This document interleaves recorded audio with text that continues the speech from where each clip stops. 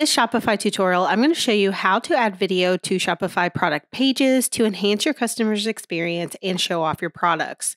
There's a couple different ways to do this. So, to get started, go to your product page. Then you'll scroll down to the media section. Here you can upload images, videos, or 3D models, and you can do it in two different ways. So, to do it the first way, you'll upload it directly to Shopify. One way to do it is to actually drag it over. You can drag it over to upload the media, or you can click Upload New and then select it and click Open. Once you do this, the video will upload directly to your Shopify store, so they will be hosting it for you. There are some limits on this, but it is a good option if you have a shorter video and you want your customers to be super focused on the video because the next option, there are some distractions. When you upload the video, it does take some time to process, but once it's ready, you'll be able to click on it and see the video on Shopify that you've uploaded. You can see what it looks like here, and then you can also do things like add an alt text and go over here to more options, the three icons at the top, click that, and you can replace the thumbnail if you need to do so. Click X to close out of that, and I'll show you the other way to add a video. The other way to add a video to your product page is to click Add from URL, and you can add something from YouTube, Vimeo, or any other video hosting site. So basically, when you do this, you'll want to hop over to YouTube, click the URL, copy that, and then go back over to Shopify and paste it. Once you paste it, you'll click Add File and it will process from YouTube the video that you're trying to add. When it's ready, it will show up here like this, and you can click play. Once you click that play button, it'll take you to this page where you see the actual video media.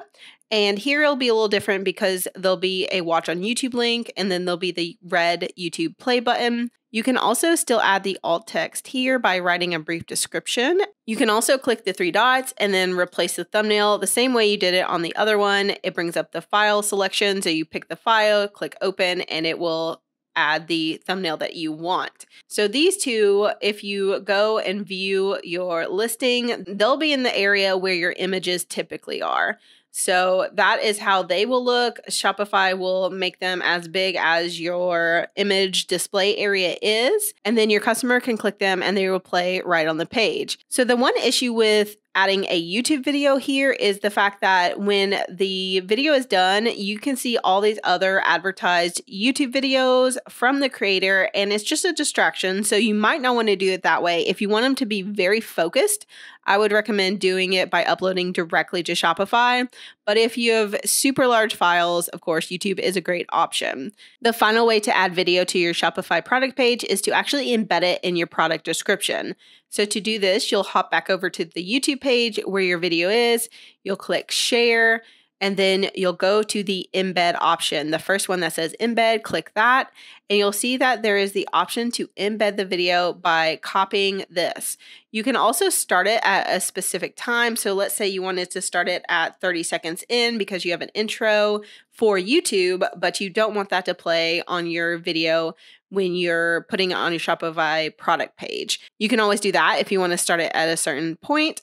And then there's also options to show the player controls or not if you don't want that. And then the other option is to enable privacy enhancement mode, which is when YouTube won't store information about visitors to your website unless they play the video. Select the options that you want, whatever they are. And then at the top, select all this code, and then you can click copy or you can do Command C, Command or Control C, and then hop back over to the product page on Shopify to the other tab.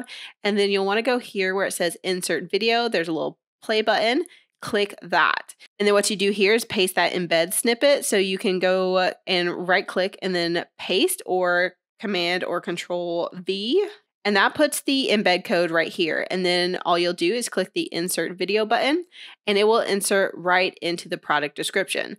So I'll show you how that looks with the preview. It's very different. Instead of having it over here with my design where the media goes, it is in the product description where all the words about the product go. So it really depends on where you want the video to be on your specific design. Every Shopify design is going to be different. So you can decide if you want to embed it or if you want to add it like a regular media via a YouTube URL or uploading directly to Shopify. Either way you want to do it, that's three different ways to add video to your Shopify product page. I hope this was helpful and helps all of your customers make a buying decision.